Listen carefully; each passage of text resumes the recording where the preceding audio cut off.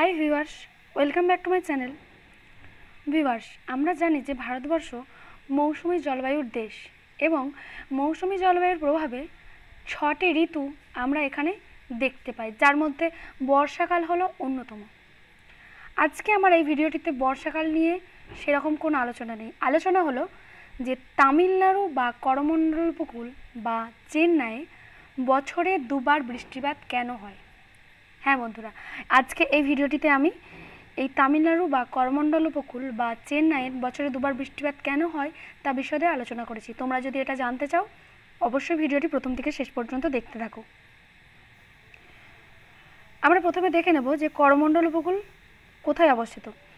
ভারতীয় মহাদেশের, উপমহাদেশের দক্ষিণ পূর্বে অবস্থিত এই করমণ্ডল উপকূল। আমরা দেখতে পাচ্ছি একেবারেই দক্ষিণ পূর্বে অবস্থিত এই করমণ্ডল উপকূল। যার মধ্যে তামিলনাড়ু গোটা রাজ্যটা বিস্তার করছে এবং চেন্নাই রয়েছে এবং অন্ধ্রপ্রদেশের কিছু অংশ এই উপকূলে বর্তমান। এবার দেখে নেব যে এই করমণ্ডল উপকূল বা করমণ্ডল কোস্টের চারিপাশে কি আছে? এই করমণ্ডল কোস্টের পূর্ব দিকে আছে হচ্ছে বে অফ বেঙ্গল বা বঙ্গোপসাগর এবং পশ্চিম দিকে আছে ইস্টার্ন ঘাটস বা পূর্বঘাট পর্বতমালা। এই করমণ্ডল উপকূল পশ্চিমঘাট পর্বতমালার বৃষ্টির ছাই অঞ্চলে পড়ে।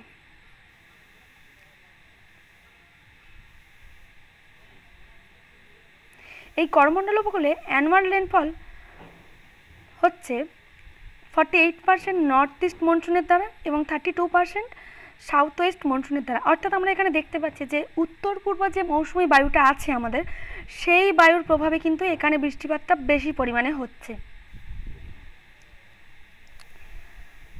এখন আমরা এই মনসুন দুটো একবার ভালো করে দেখে নেব।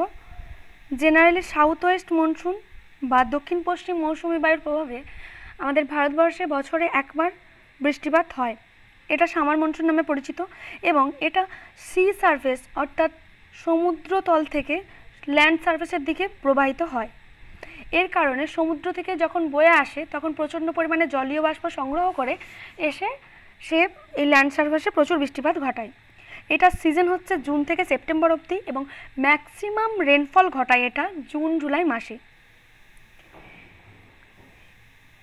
ইন্ডিয়া ম্যাক্সিমাম রেনফলটা এই সাউথ ওয়েস্ট মনসুনের দ্বারাই পেয়ে থাকে, যেটার পরিমাণ হচ্ছে সিক্সটি সেভেন থেকে সেভেন্টি টু পারসেন্ট এবার আসছে north west north east monsoon যেটা আমাদের কাছে উইন্টার মনসুন নামে পরিচিত। এটা জেনারেলি ল্যান্ড সারফেস থেকে সি সারফেসের দিকে বয়ে চলে, যেটা সিজন হচ্ছে অক্টোবর থেকে মার্চ অবধি। কিন্তু এই নর্থ ইস্ট মনসুনের দ্বারা ম্যাক্সিমাম রেনফলটা হয় অক্টোবর থেকে ডিসেম্বর মাসে।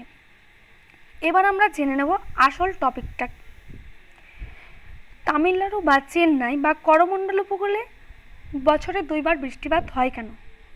হ্যাঁ দুইবার বৃষ্টিপাত হয় তার দুটি মেন কারণ। একটা হচ্ছে সাউথ ওয়েস্ট মনসুন বা দক্ষিণ পশ্চিম মৌসুমি বায়ু, যেটার দ্বারা সারা ভারতবর্ষ বৃষ্টিপাতটা পেয়ে থাকে বেশিরভাগ।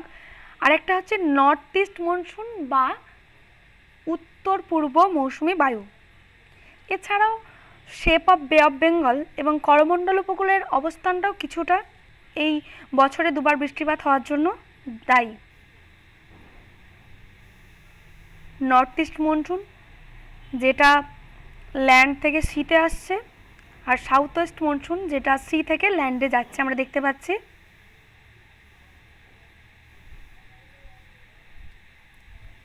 বে অফ বেঙ্গলের অবস্থান।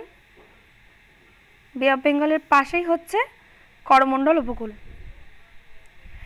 এখন ফার্স্ট টাইম বৃষ্টিটা হয় এই করমণ্ডল উপকূলে। দক্ষিণ পশ্চিম মৌসুমি বায়ুর দ্বারা, যেটা জুন থেকে সেপ্টেম্বর পর্যন্ত হয়ে থাকে এবং ম্যাক্সিমাম রেনফল আগেই বললাম জুন, জুলাই মাসে।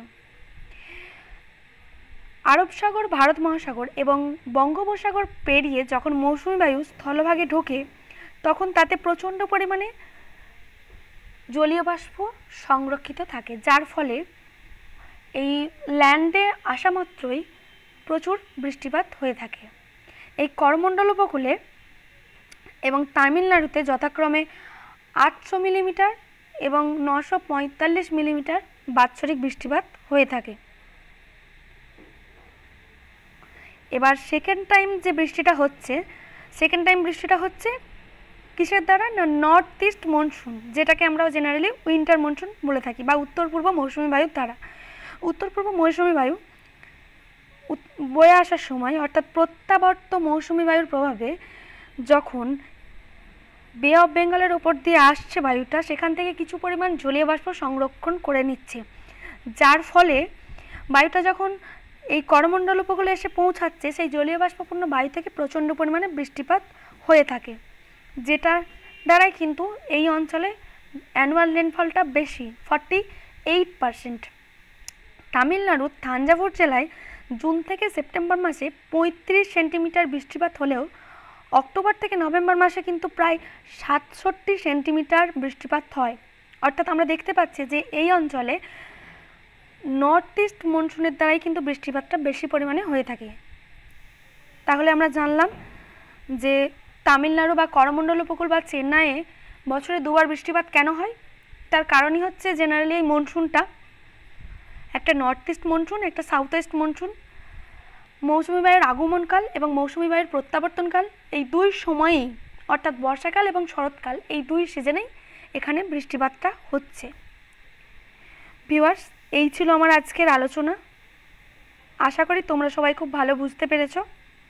যদি আমার এই ভিডিওটি তোমাদের ভালো লেগে থাকে, অবশ্যই লাইক, শেয়ার করো এবং কমেন্ট করো। Thank you.